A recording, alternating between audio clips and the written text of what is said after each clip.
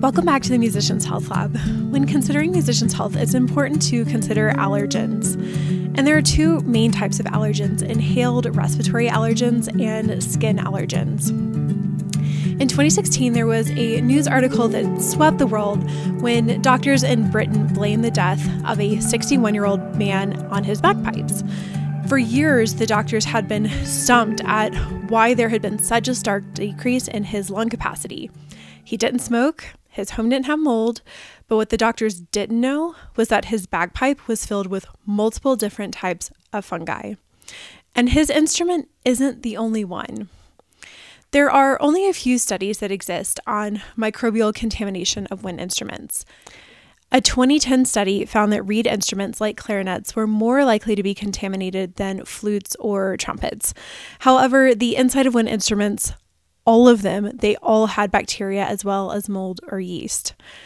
Another study from France in 2019 looked at wind instrument contamination and found that 95% of oboe, bassoon, clarinet, and saxophones were contaminated with fungi. There was another study out of Australia that provided anecdotal evidence from band directors who said that 50% of their students had some sort of respiratory distress that required therapy. So these different microbes, they have been known to cause different medical problems such as hypersensitivity pneumonitis, tuberculosis, asthma, and other pulmonary function problems. In the US, approximately 8.3% of the normal population have asthma. But among wind instrument players, 20% of flutists have asthma, 17% of clarinetists, 21% of saxophonists, 17% of trombonists, and 15% of French horn players have asthma.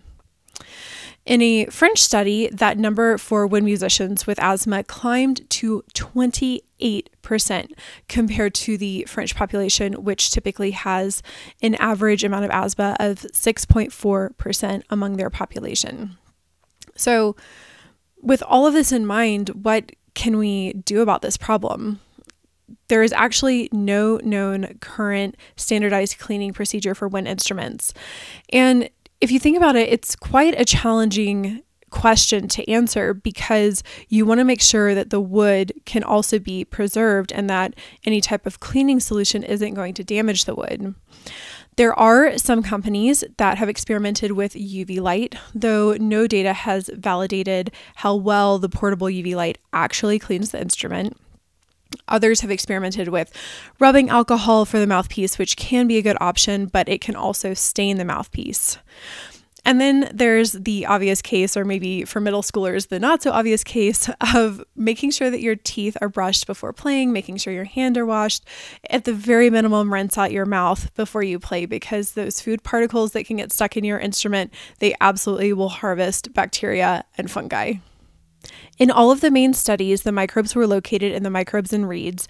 So, making sure that those areas are clean will be vital to your health. I hope that there will be more studies to come very soon and that we will have better cleaning solutions to offer.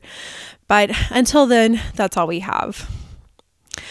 The next allergen we're going to talk about are contact allergens. And these type of allergens might be encountered through metal allergy or wood allergy or other irritants like resin. And most often, these allergens will manifest as rashes or swelling in the arms or hands, even the neck or mouth or lips. And in many cases, this is known as contact dermatitis, or it's a rash caused by a direct contact with a substance. Probably the most common among instrumentalists is nickel because nickel is so often found in instruments. And many uh, brass instruments are fully brass. Many woodwind instruments, they have nickel keys. So it's just something to be aware of.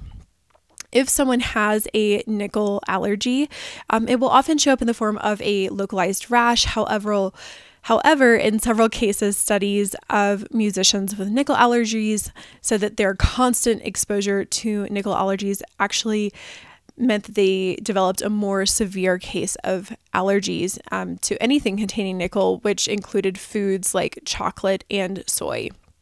So, one way that we can avoid this is when choosing an instrument for band or orchestra, it could be really critical for the teacher to ask if the student has any known allergen. This may go a long way in helping students choose instruments that they won't have to give up later. Um, there are, of course, other solutions if you are already uh, in love with the instrument that you're playing and you have later found out you have a nickel, nickel allergy. Um, they have plastic mouthpieces. You can use gloves if you're a brass player, um, nitrile gloves if you're a woodwind or string player, which sometimes are not a great option. Whether you're new to the idea that instruments can cause allergic reactions or if this is something you've been dealing with your whole life, I would love to hear your story. I would love to hear solutions that you found. So please leave some comments below. As always, if you want to get in touch with me, you can find me on Instagram at Kensley Behel. I'm very responsive there, and I would love to hear any way that I can help you. I'll see you next time.